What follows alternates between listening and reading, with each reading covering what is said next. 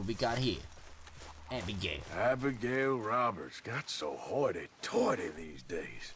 Oh, fabulous. The charmer's here. I remember when she wore so much paint you couldn't see her blush. Why do you do this? That's enough, Arthur. Busiest girl on Nickel Night back in the day. Say what you want, I don't care. Yeah, that's right. You a filthy slut.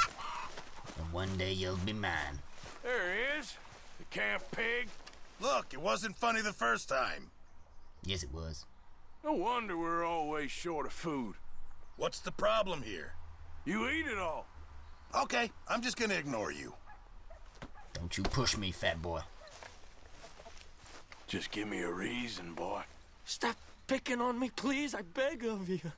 to slit your throat. Please stop. Maybe I don't need a reason. Just kill me if you're gonna. Maybe I will. Hey, little boy. Ready to die? I'm sleepy. Get the hell up. What's going on, Arthur?